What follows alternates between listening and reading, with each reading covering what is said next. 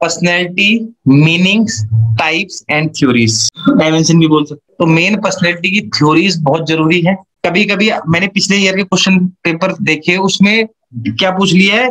Particular author ने क्या definition दी है? वो भी हमेशा ध्यान रखना। वो भी पूछेगा वहाँ पर पर्सनैलिटी की थ्योरीज मतलब पर्सनैलिटी के जो टाइप बता रखे थ्योरीज जो बता रखी है, वो उसके दो अप्रोच थे। पहला अप्रोच था टाइप दूसरा अप्रोच था ट्रेड टाइप अप्रोच का मतलब होता था सिर्फ़ और सिर्फ़ ओवर्ट या विजिबल बिहेवियर या एक्सटर्नल बिहेवियर को सिर्फ़ ध्यान में रखकर कंसीडर करके टाइप अप्रोच दी गई। जो सिर्फ़ ओवर्ट बिहेवियर को विजिबल कैरेक्टरिस्टिक्स को, जो विजिबल कैरेक्टरिस्टिक्स को देख कर एक तरह से उन्होंने कोई इंटरनल बिहेवियर को नहीं देखा।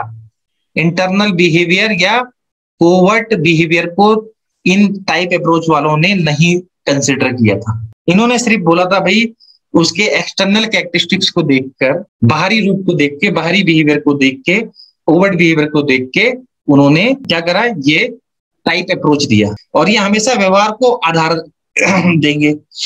मतलब बाह्य लक्षणों को या जैसे शारीरिक गुणों को मतलब फ़िज़िकल कैरेक्टरिस्टिक्स को एक्सटर्नल कैरेक्टरिस्टिक्स को ये ज़्यादा तवज्जो देते थे ये वाले जिन्होंने टाइप अप्रोच के अकॉर्डिंग पर्सनैलिटी की थ्योरीज दी थी तो वो ज़्यादा बिहेवियर को ज़्यादा, कौन से ओवर्ड बिहेवियर को? एक्सटर्नल बिहेवियर को ज़्यादा तवज्जो देते, उसके अकॉर्डिंग उन्होंने टाइप्स दिए। किसके टाइप्स दिए? पर्सनैलिटी के टाइप्स दिए। और इन्होंने सिर्फ़ एक्सटर्नल कैरेक्टरिस्टिक्स एक्सटर्नल ट्रेट बाह्य लक्षणों को देखकर ही इन्होंने क्या दिए?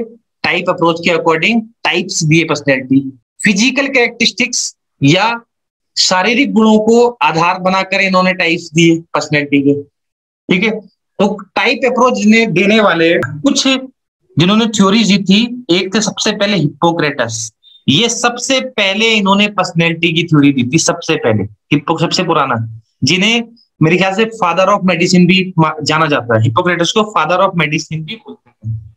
फादर ऑफ़ मेडिसिन हिप्पोक्रेटस ने अपने टाइप अप्रोच में जो टाइप अप्रोच के अकॉर्डिंग उन्होंने पर्सनैलिटी के टाइप्स दी। दूसरा था शेल्डन ये आप पढ़ते भी थे।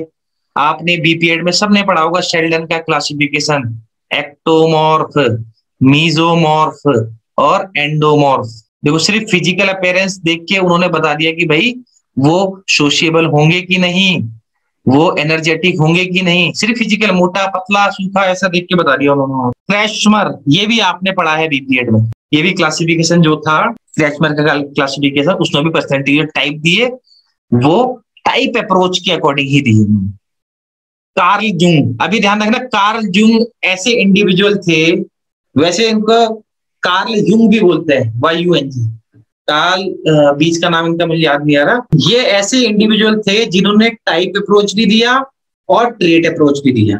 दोनों अप्रोच इन्होंने दिए थे नेट में पूछा जा सकता है कार्ल जुंग उसके बाद ट्रेड अप्रोच आते हैं। ट्रेड अप्रोच में अलग अलग थे। ट्रेड अप्रोच में जो था, ये इंडिविजुअल ट्रेड अप्रोच क्या बोलते थे? इस अप्रोच के बेस पर पर्सनैलिटी की थ्योरी देने वाले, उस थ्योरी के अकॉर्डिंग टाइप्स बने पर्सनैलिटी के टाइप देने वाले किस पर बात करते थे? ये ओवर्ट और कोवर्ट बिहेवियर दोनों को कंसिडर करते थे। ज़्यादा कोवर्ट को करते थे। ओवर्ट को तो लेके चलते ही थे, लेकिन ये कोवर्ट के बेस पे इन्होंने इतनी थ्योरीज दी वहाँ पर। मतलब ये बाह्य और इंटरनल एक्सटर्नल और इंटरनल दोनों हो सकते हैं, ये हमेशा ध्यान रखना। लेकिन ये जो, ये लोग कोवर्ड बिहेवियर को जितने भी लोग आईजैंग ऑल पोर्ट कैटर इन्होंने कोवर्ड बिहेवियर को ज़्यादा तवज्जो दी कोवर्ड बिहेवियर मतलब कोवर्ड कैरेक्टरिस्टिक्स इंटरनल कैरेक्टरिस्टिक्स छिपी हुई, जो दिखती नहीं है। इतना जैसे कोई इंडिविजुअल बहुत काइंड है, ईमानदार है, वो कैसे देखोगे, भैया आप आप उसे फील करोगे बस। कैसे? भाई ईमानदारी दिखा रहा हो। फील कर सकते हो आप उसको। कोई इंडिविजुअल मस्कुलर है वो तो आप देख सकते हो उसकी मांसपेशी अच्छी है सब कुछ अच्छा है उसका। टॉल है इसका मतलब वो टाइप में आ गया। लेकिन कुछ बहुत एनर्जेटिक है कोई विजिबिलिटी थोड़े ना है। बहुत काइंडनेस है बहुत आ, उसके बाद गरीबों की सेवा करने वाला है। उसको एल्टुरिज्म ऐसी कुछ बोलते हैं एल्टुरिज्म वो विजिबल नहीं है। उसको लेकिन आप ऑब्ज़र्व करते हैं। ऑब्ज़र्व कर ही देते हैं आपने। तो वो सब ट्रेड अप्रोच के अकॉर्डिंग बना है। तो ये कोवर्ट बिहेवियर या कैरेक्टरिस्टिक्स की बात करते थे ये लोग, ये जितने भी बंदे थे यहाँ पर। हमेशा ध्यान रखना। मतलब या इंटरनल कैरेक्टरिस्टिक्स की बात करते थे।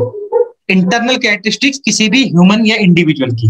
हमेशा ध्यान रखना। इसका मतलब ये सब के सब ज़्यादा साइकोलॉजिकल एट्रीब्यूट्स या कैरेक्टरिस्टिक्स या ट्रेड्स के बारे में बात करते थे। उसी के आधार पर इन्होंने पर्सनैलिटी की थ्योरी के साथ साथ उसी थ्योरी के बेस पे इन्होंने टाइप दिए कि इंडिविजुअल एक्सट्रोवर्ट होगा इंट्रोवर्ट होगा न्यूरोटिसिज्म होगा एंटी सोशल होगा सोशल होगा, इतने सारे अलग अलग लोगों ने अलग अलग दिए वहाँ पर।